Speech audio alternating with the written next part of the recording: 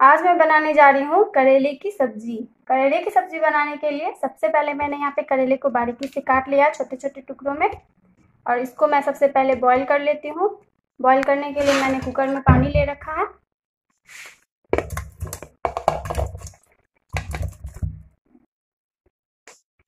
अब मैं इसे गैस पे चढ़ा देती हूँ जिससे ये बॉईल हो जाएगा। जैसा कि आपने देखा करेले को मैंने बॉईल होने के लिए चढ़ा दिया है। उसके बाद मैं यहाँ पर करेले का ग्रेवी के लिए मसाले को मैश कर लेती हूँ, जिसके लिए मैंने यहाँ पे लिया हुआ है टमाटर, प्याज, लहसुन, हरी मिर्च और अदरक। ये सबको मैं मैश कर लेती हूँ।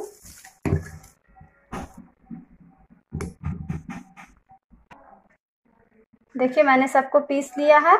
ये है प्याज, ये अदरक, लहसुन और ये टमाटर। चलिए तो मैं दिखाती हूँ मैंने मसाले में क्या सब लिया हुआ है।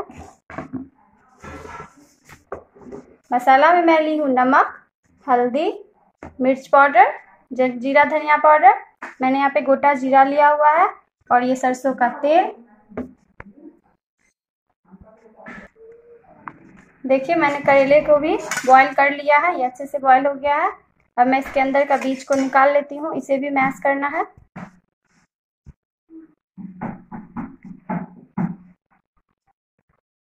जैसा कि आप देख रहे हैं, मैंने सारे बीज को निकाल लिया है, सारे करेले में से। अब मैं इसे मैश कर लेती हूँ। देखिए तो मैंने सारे बीज को मैश कर लिया है। चलिए तो मैं कढ़ाई चढ़ा करके जल्दी से इसे बना लेती हूँ।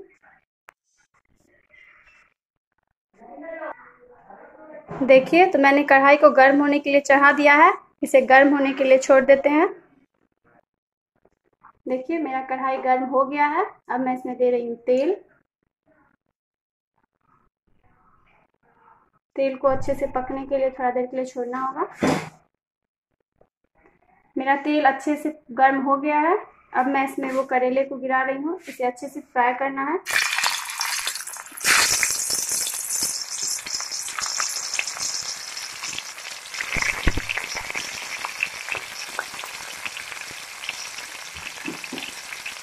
इसमें थोड़ा नमक दे देते हैं टेस्ट के लिए।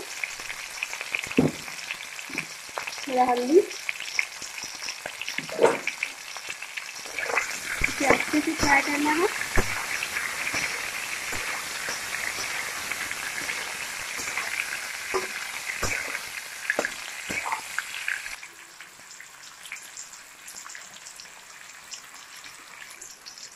ये अच्छे से फ्राई हो गया है, अब मैं इसे निकाल लेती हूँ। देखिए, मैंने इसे बाहर निकाल लिया है। ये कितने अच्छे से फ्राई हो गया है। अब मैं इसका ग्रेवी बना लेती हूँ। ग्रेवी के लिए मैंने तेल कढ़ाई में गर्म होने के लिए छोड़ दिया था। अब ये गर्म हो गया है। सबसे पहले मैं इसमें दे रही हूँ जीरा। अब तेल अच्छे से पक गया है। जीरा भी पक गया। अब मैं इसमें दे रही हूँ प्याज।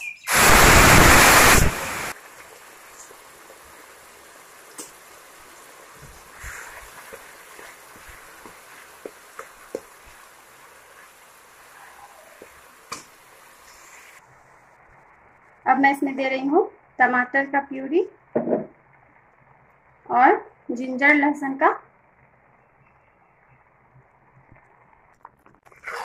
अब ये सबको अच्छे से मिला ले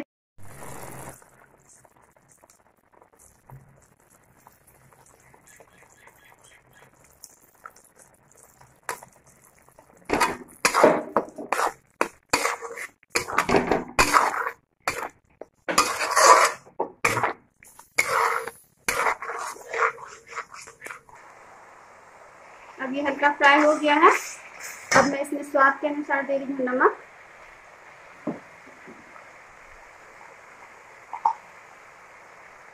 हल्दी।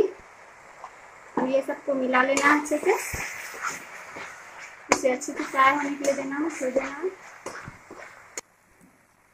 अब मैं इसमें दे रही हूँ एक चम्मच जीरा और धनिया का पाउडर। एक चम्मच लाल मिर्च पाउडर।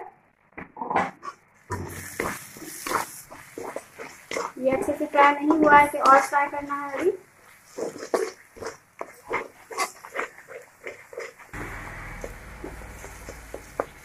ये अच्छे से फ्राई हो गया है। अब मैं इसमें दे रही हूँ एक चम्मच गरम मसाला। और ये मैंने कटोरी, एक कटोरी दही रखा हुआ है देने के लिए।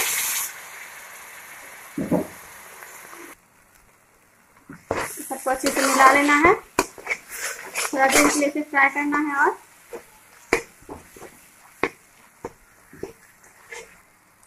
मेरा मसाला बिल्कुल तैयार है। अब मैं इसमें दे रही हूँ पानी।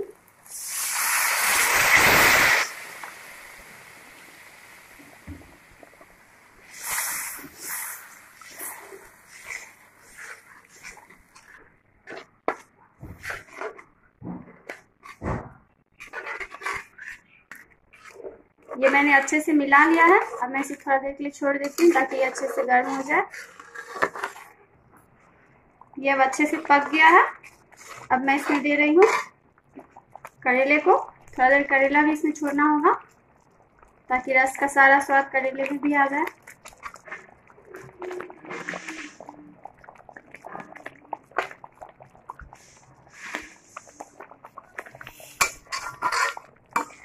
चलिए इसे दो मिनट के लिए छोड़ देती हूँ। देखिए, ये अच्छे से हो गया है, पक गया है, बहुत अच्छा से। अब मैं इसे निकाल लेती हूँ। तो देखिए, ये मेरे करेले की सब्ज़ी बनके तैयार है। ये खाने में बहुत ही स्वादिष्ट होता है। आप इसे ज़रूर एक बार